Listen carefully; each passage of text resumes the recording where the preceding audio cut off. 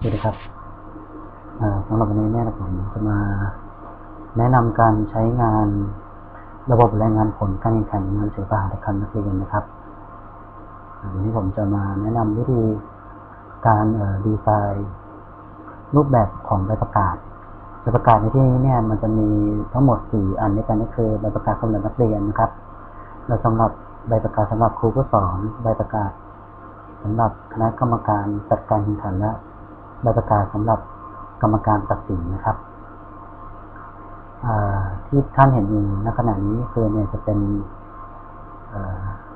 ตัวอย่างของระบบการแข่งขันของชุมพรเขตหนึ่งครับ ซึ่งได้มาขอใช้บริการนะครับอะไรนะให้ให้ส่วนหน้านี้คือส่วนหน้าเว็บหลักนะครับส่วนหน้าเว็บหลักที่เราจะทำการแสดงผลต่างๆนะครับ สามารถที่จะดูเกณฑ์แข่งขันนะครับการแข่งขันแล้วก็ตรวจสอบผลการแข่งขันดูตารางการแข่งแล้วก็สรุปผลได้เลยในหน้านี้นะครับวิธีการทำนั้นก็ให้ท่านเข้าไปที่เจ้าหน้าที่นะครับเจ้าหน้าที่ทำงานนี้นะครับคิดเข้า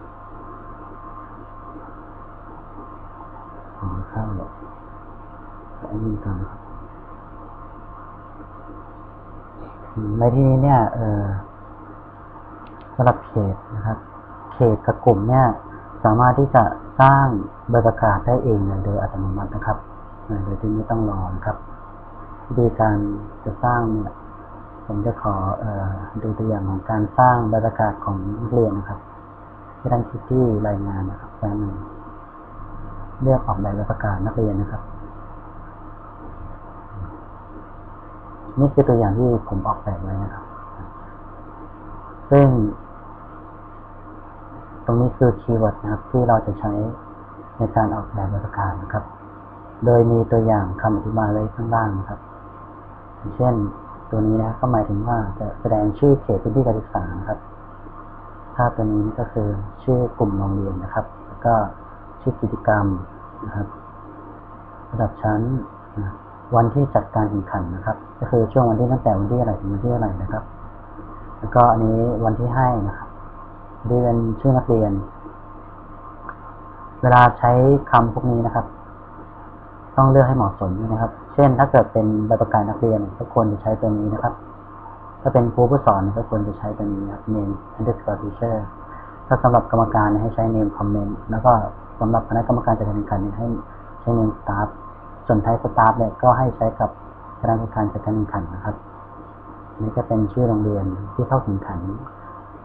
ตัวนี้เนี่ยจะใช้ในกรณีที่เราใช้ใบประกาศสำหรับนักเรียน แล้วก็ใบสำหรับใบประกาศสำหรับครูผู้สอนนะครับเกรดก็เหมือนกันนะครับนะก็คือรางวัลที่ได้รับ เช่นเหรียญเงินเหรียญทองเหรียญทองแดงและพวกนี้นะครับ จะใช้สำหรับนักเรียนนะครับครูนะครับเรียก staff name คือประธานนะครับ ของแต่ละกิจกรรมอย่างเช่น ของเขตก็จะดึงประธานเขตมา ถ้ากลุ่มก็จะดึงประธานกลุ่มมานะครับ แล้วก็ตำแหน่งครับ ตรงนี้เนี่ยเราสามารถใส่ได้เลยนะครับใส่เข้าไปได้นะครับตามรูปแบบไว้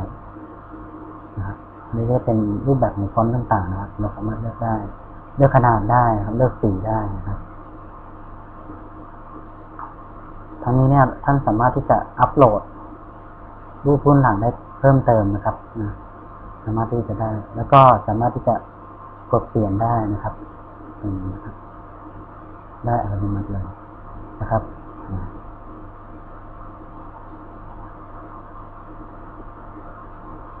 สมมติว่า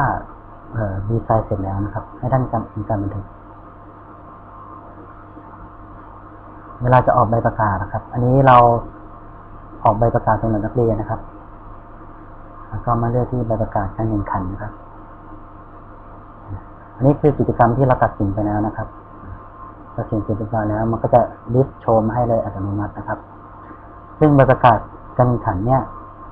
เมื่อเวลาเราพิมพ์นะครับ มันจะออกมาทั้งของ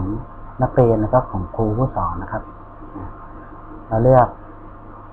ถ้าเราต้องการใบประกาศอันไหนให้เราติ๊กตรงนี้ก็เลือกพิมพ์แบบประกาศตกลงเสร็จแล้วเนี่ยมันจะเจเนเรตออกมาเป็นรูปของไฟล์ PDF นะครับ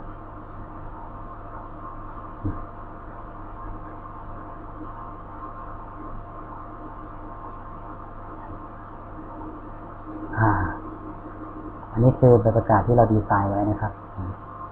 มันก็จะเด้งมาให้อัตโนมัตินะครับ ตามที่เราได้ทำการบันทึกไว้นะครับ นี่เป็นของนักเรียนนะครับส่วนนี้เป็นของครูนะครับนะก็จะขึ้นมาเลยนะครับ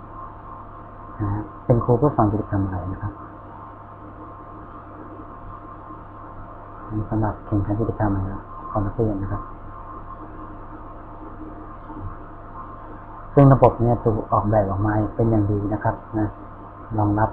การแข่งขันและออกใบประกาศเลยนะครับ โดยที่ไม่ต้องรอนะครับ ไม่ต้องรอใบประกาศจากทางเขตหรือทางกลุ่มที่จะส่งมา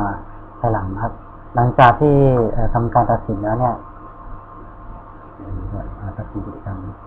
หลังจากที่เราทำการตัดสินกิจกรรมเรียบร้อยแล้วเนี่ยเราสามารถที่จะบันทึกผลและไปรอรับ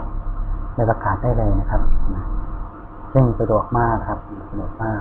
คะแนนก็ขอฝากระบบนี้ไว้ด้วยนะครับ แล้วก็ไว้พบกับตอนต่อไปนะครับ ว่าเราจะมีอะไรมานำเสนออีกนะครับ ขอบคุณครับ